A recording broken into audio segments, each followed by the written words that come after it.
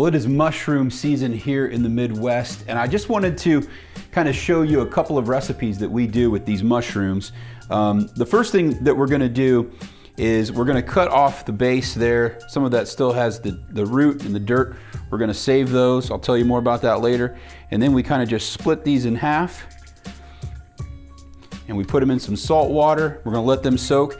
I'm gonna do the rest of these right now. And right now, uh, we're gonna show you how we find these mushrooms. I think we have a secret, a little secret to finding these mushrooms that we wanna share with you. So let's check that out right now.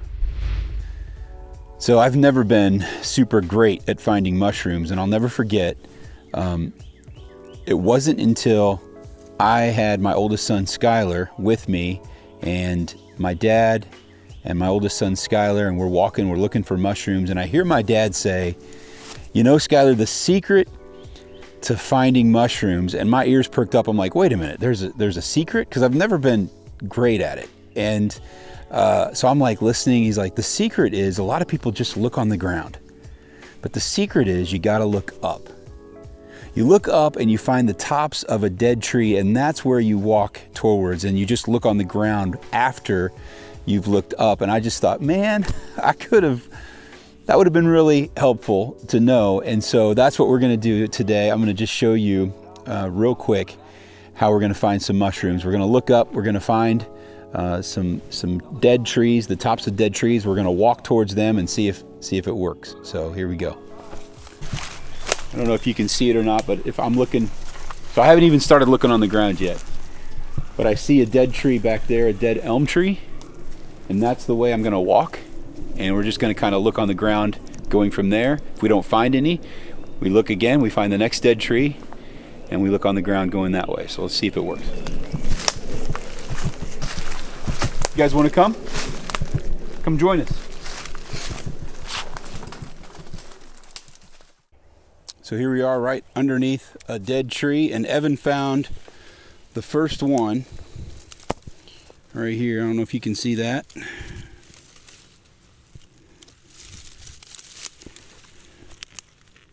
See that right there? See it?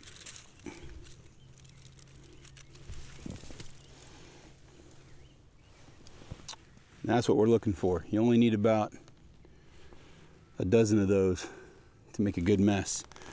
But that is really tough to find if you're just going to scour the forest floor. And when you can find the dead tree and just start walking to that and then look around that, that's what you find. Let's see if we can find some more.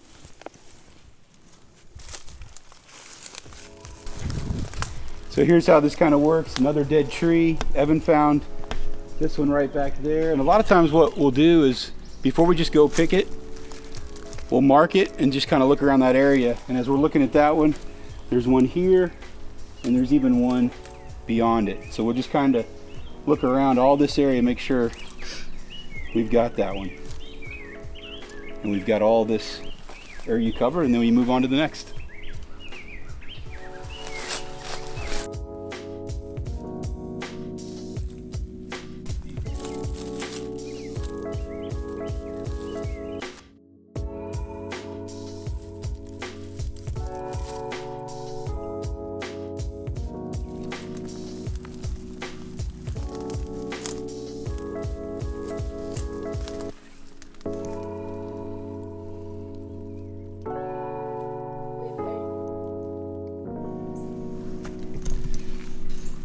So I've heard some people say that if you break off and leave the bottom end in the soil, that it helps for the next year's growth. And I don't know if that's true. I've found these morels to be a mystery. You'll find 20 of them in one spot one year, and you can leave all the roots you want, and they're not there the next and uh, so, I don't know, maybe you guys probably know more than I do.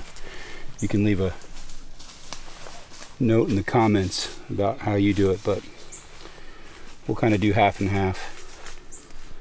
It's a pretty good mess right there. I think we call it a day. Go fry these up. Okay, so now you know the secret. You've got to look up first in order to find the treasure.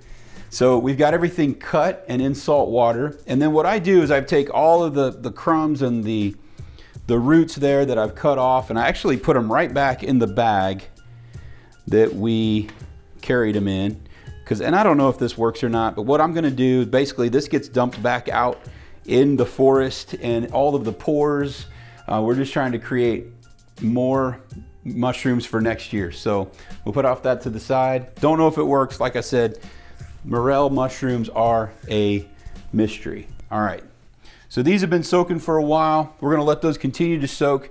The first recipe I wanna show you is just the old fashioned poor Cramer way. And it's basically just an egg, some saltines, and some butter. I'm gonna show you that way first.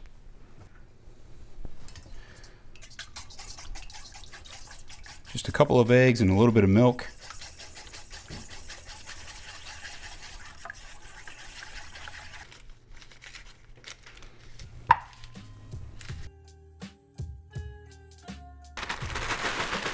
Get those saltines in there.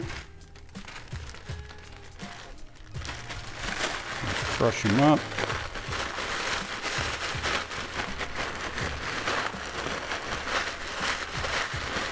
Take one, you just kind of put it in the egg. If you can see that okay.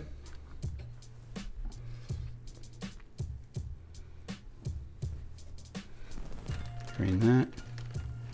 Put it right in there. Do a couple more. And again, this is the this is the old-fashioned way. This is the way my dad and his dad would do it when they were living in Orange Township, Knox County. First one going in the butter. There we go.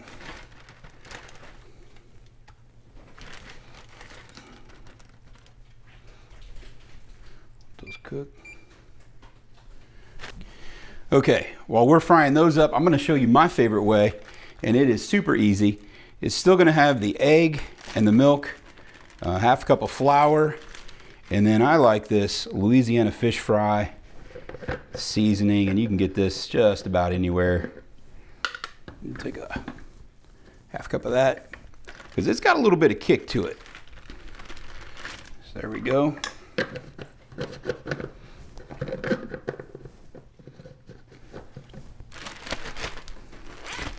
We'll mix that up.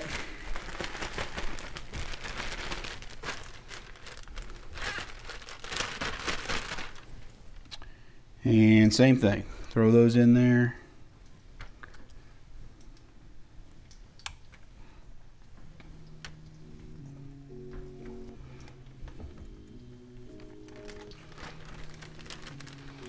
Zip it up and shake it up.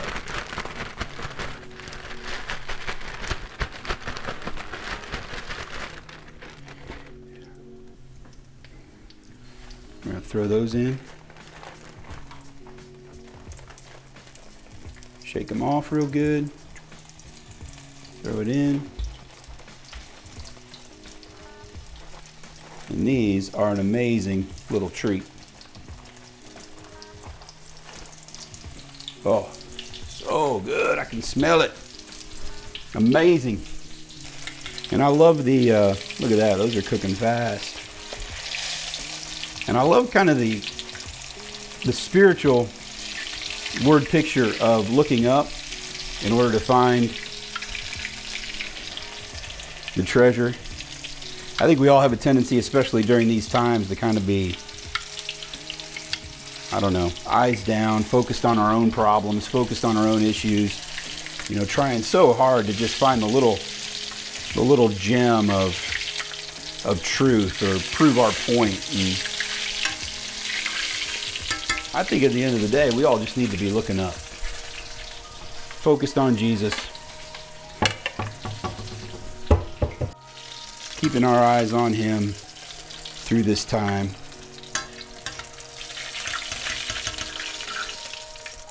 And the day will come where we'll be able to look back and say, oh,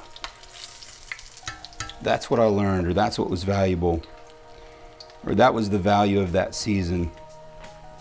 But right now, I mean, we don't have to have all the answers. We just got to keep our eyes up, stay focused, and stay focused on Jesus.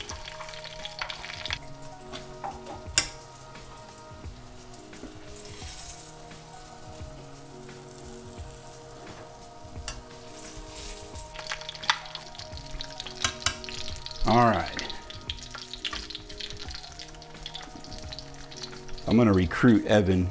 We're to let him do a little taste test. All right, so you can see we've made a pretty big mess. I'm on the last little batch here. Evan, I'm to have you do a taste test. Grandpa's versus mine. Which recipe do you prefer? Go ahead and take a bite. Okay.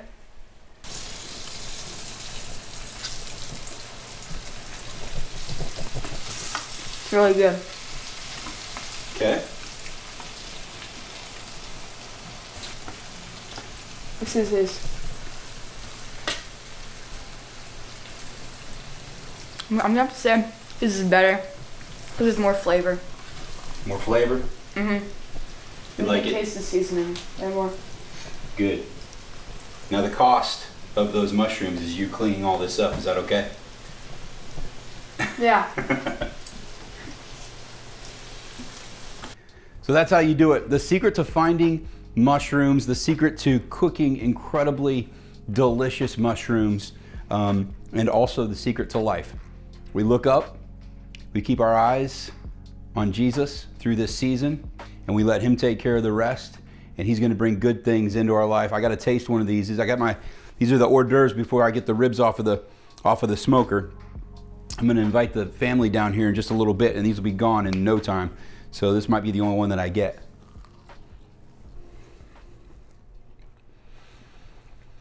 Mmm. It's so good. Wow. Mmm. I love living in the Midwest. Delicious.